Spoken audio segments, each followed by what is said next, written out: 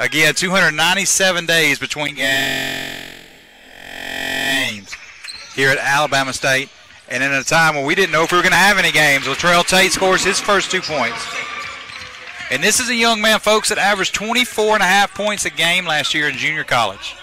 State Player of the Year, honorable mention, All American. At Mississippi Valley State in Itta Bena. Here's Christian with four to shoot. He'll leave that three short. Jordan O'Neill pulls down another rebound for Alabama State. That's seven for him. Here's Tate. Going to wave it off. And Tate got fouled before the shot. Let's see if he's Mr. Automatic now that there are people in the stands. This kid missed maybe five free throws the entire preseason practice. They'll get Cameron Woodall with a foul. It'll be his first personal.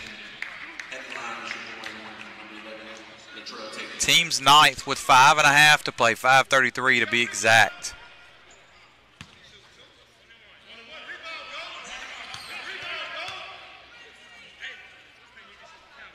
Here's LaTrell Tate, his first free throw.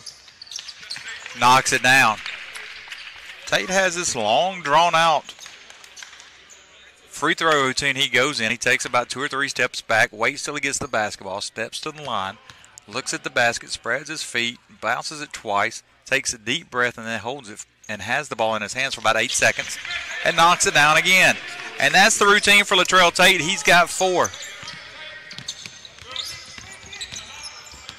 Expect Tate to heat up as the season goes on again. This is the first game for Alabama State.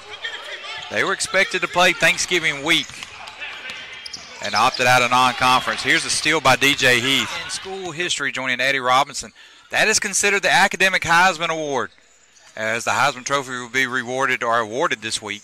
That is the Academic Heisman. It'll be rewarded next week for the 12 finalists across the country. Here's a jump ball out of the timeout. LaTrell Tate and Peyton Taylor get tangled up. Tate gets a jump ball called. It'll go over to Alabama State with 2.27 to play. 66 46 your score.